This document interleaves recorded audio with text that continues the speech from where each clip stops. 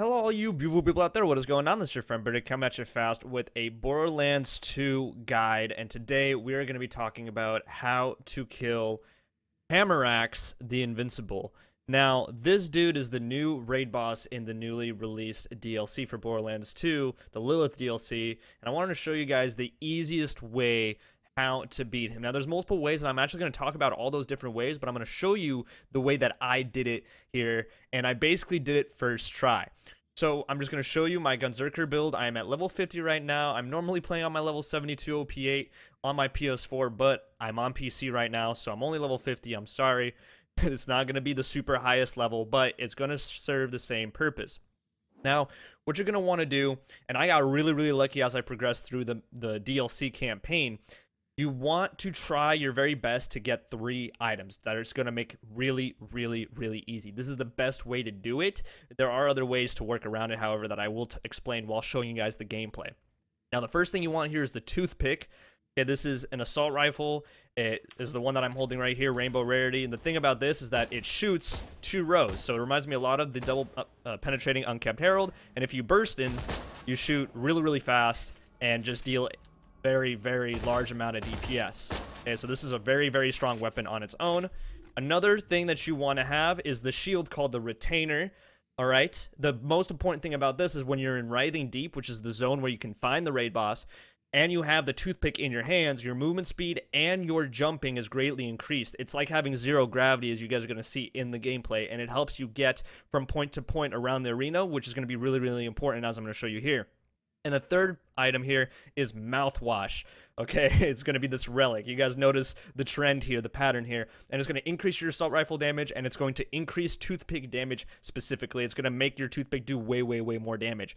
So these are very, very important items. As for your other items, honestly, you don't even really need anything super specific. I have the Slagga here because I want to slag the monster, but you're going to be doing the majority of the damage with the toothpick with this build. If you have Grog Nozzle, then you're 100% good to go. I don't have the Grog Nozzle yet, so I had to use the Slagga, which I think is the next best, next best thing.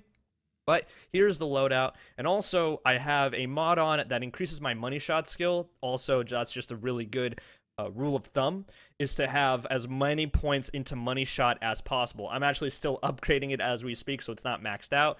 But whenever you're soloing raid bosses as Salvador, this is going to be your most important perk. All right, so now let's get into the gameplay, and I'm going to explain more how to defeat this seemingly really annoying Invincible, when in fact he's probably one of the easiest ones once you learn how to actually beat him. Now, before we get into the raid boss battle, I just wanted to show you the difference in movement speed when you're carrying the toothpick and have the retainer shield on, and the difference when you don't have the toothpick in your hands. As you can see here, I'm running normally, jumping normally, but with the toothpick, I'm running super speed like Sanic, and jumping 0G like this is the pre-sequel. Now, I had a little bit of loot left over from the last time I killed this boss, so I decided to save and quit and refresh the game, and now we're going to get into the gameplay.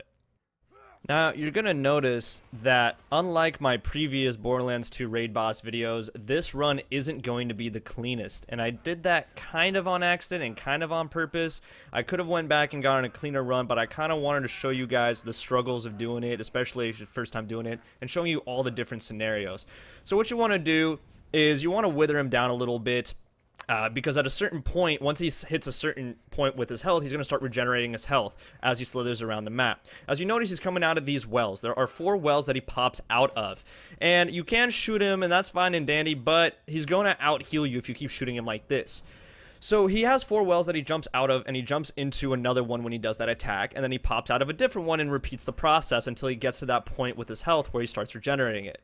What you want to do is you kind of want to guess, but wait, you don't have to guess where he's going to pop out from because there is a system.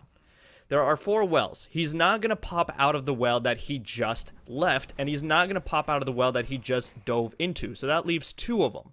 The, the way you know which well he's going to pop out of is because the well that's right next to the one that he dove into is the next one where he's going to pop out from. So notice I, I saw him pop out into that corner. I'm going to stand next to the well that's next to it, and he's going to pop out of it. So he jumped into that well. Where's the closest well to it? On the same side. Okay, maybe it's this one. Is it? I don't know. I guess it is. Boom. And you're going to aim for that bright glowing thing on the back of his head. When you do enough damage to it, he's going to fall down just like that. And I kind of got stuck on his back, but there's going to be a crit spot in his mouth that lets you deal a ton of damage as you guys just saw.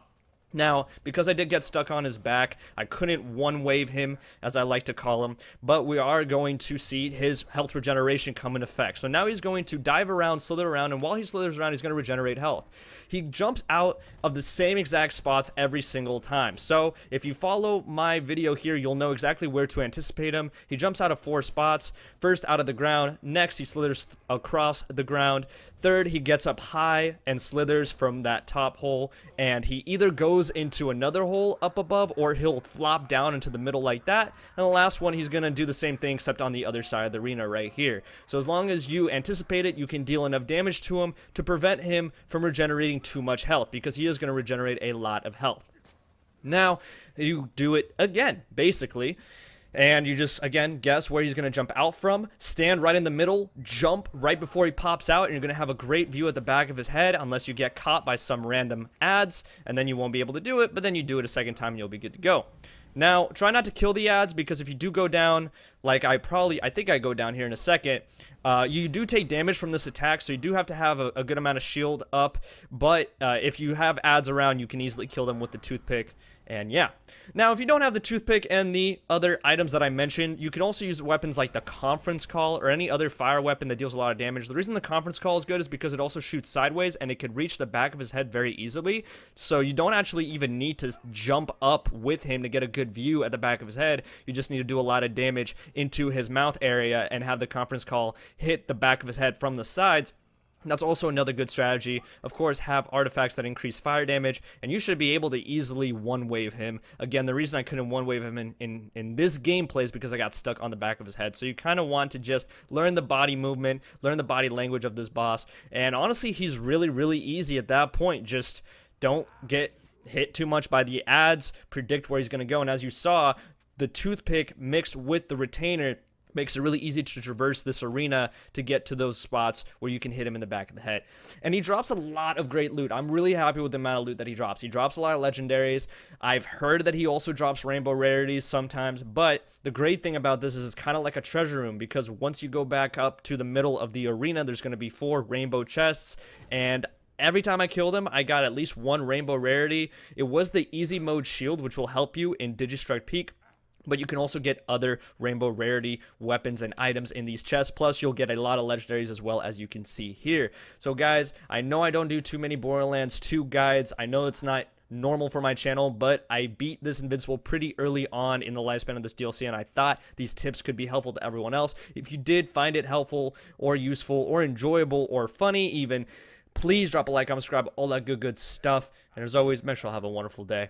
Peace.